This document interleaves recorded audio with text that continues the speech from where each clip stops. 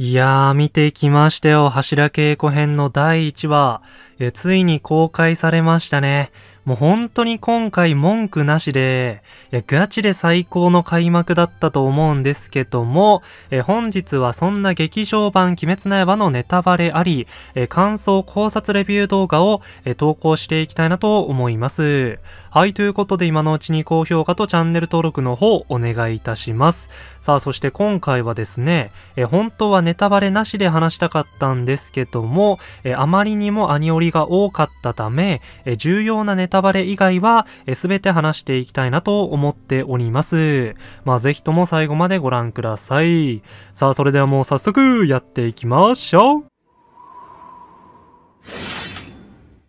はい、ということで、今回はパートごとに見ていきたいなと思うんですけども、まずはですね、刀鍛冶の里編第11話どうだったのよということで、いやーめちゃくちゃ良かったですね。え今回刀鍛冶だけでもえ劇場で見る価値がえ存分にあったと思います。え大迫力の画面とえ音響がえすごい良かったですね。えテレビで見ているからこそえそれを感じました。え特に反天狗 VS 炭治郎のシーンなんかがえ音響がとてつもなくえ気持ちよかったですね。え他にはですね、えかまどねずこの太陽克服シーンだったりとか、え鬼物事務山のシーンなんかもね、えすごい良かったですね。えあそこがやっぱりね、劇場版で見ると、え特に迫力っていうのを感じましたね。え全然退屈せず、え素晴らしかったです。はい、ということで今回柱稽古編の第1話、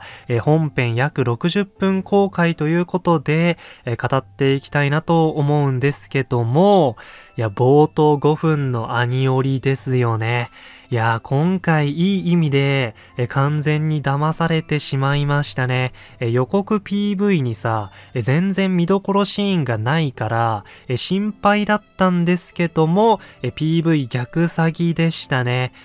本当にいい意味で。いやー、そしてこの5分間がね、マジで最高だったんですけど、え無限上編か、え外伝のアニメが始まったのかと思うぐらい、え柱稽古編の映像像とは、えかけ離れていてですね、えアニメーションっていうのがすごかったんですよね。え皆さんもご覧になったんでしょうかで、今回品津川さねみと、えイグロオバナイの戦闘シーンが、えアニメの方では初めて描かれていくんですけども、あのね、技っていうのがめちゃくちゃかっこよかったんですよね。え特にイグロオバナイの延々長打が初めて見たんだけど、や、エフェクトといい、本当にやばかったですね。蛇のかぶら丸の戦い方っていうのもすごかったですね。で、そして最後は、無限上編に向けて、伏線を張って終わるという展開だったんですけども、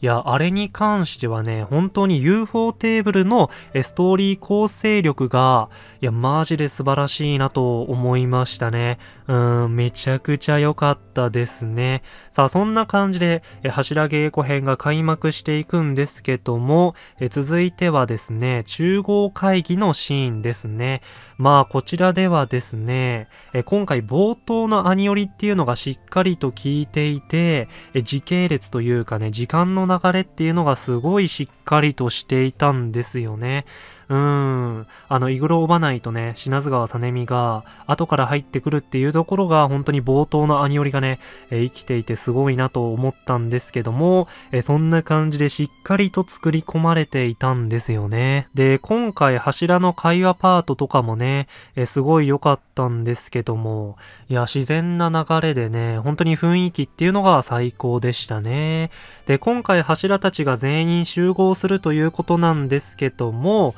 やっぱり柱はね、え雰囲気に緊張感があって、良かったですね。えキャラっていうのがしっかりと立っているんだよね。え今回各キャラクターたちの個性っていうのも、え本当に前面に出ていて、えそれがすごい良かったですね。あとは、あまね様が、えとにかく美しくて、それも良かったですね。で、そんな中合会議の、え特に好きだったシーンが、え甘露寺みつりのパートなんですけども、えこちらがえ原作と比較しても、えやはりアニメのカンロジワールドの凄さっていうのが、えとてつもなくてめちゃくちゃ最高のシーンでしたね。え花沢香菜さんありがとうとえいうぐらいアフレコっていうのもえ最高でした。で、続いては、え姫島行名のパートなんですけども、え今回ですね、えほぼ初めての登場なのかなえ姫島行名さんのキャラクターとしての良さや、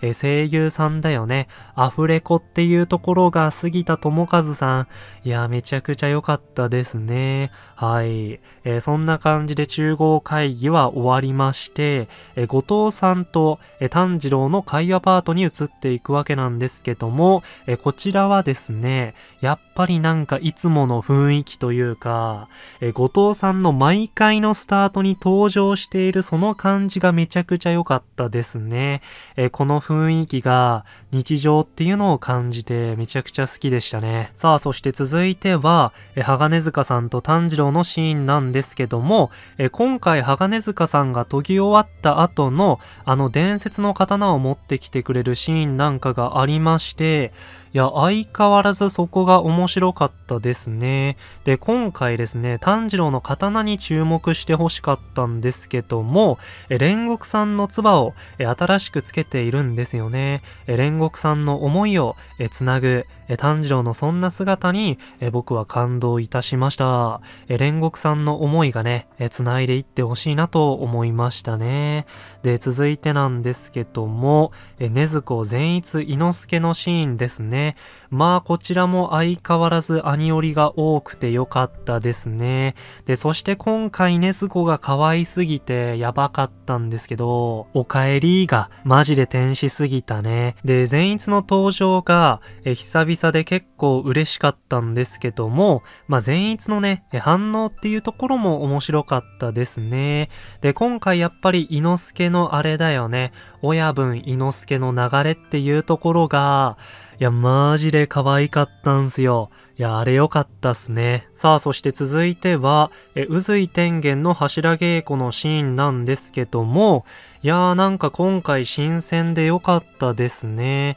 え、うずいさんの新しい姿。で、そして今回柱稽古のシーンなんかもありましたけども、いや、なかなかきつそうで笑ってしまいましたね。いや、柱稽古のシーンも良かったっすね。うーん。で、さらに今回、スママキオひなつる、え、嫁3人の登場もあったので、それも良かったんですよね。いや、そしてひなつるは何気に CV 種崎厚美さんっていうね、うん、アーニャの声優だったりとか、早々のフリーレンで今話題の、え、声優さんなんだよね。いやそんな感じで声優さんの方もなかなか豪華で、えー、かったですね。で、最後なんですけども、えー、玉代さんのシーンということで、まあこちらの雰囲気っていうのがマジで最高だったんですけども、もう本当に何が起こるんだっていうところに、え、春日井ガラスがやってきて、親方様のカラスだよね、がやってきて、鬼物事務山を倒すために、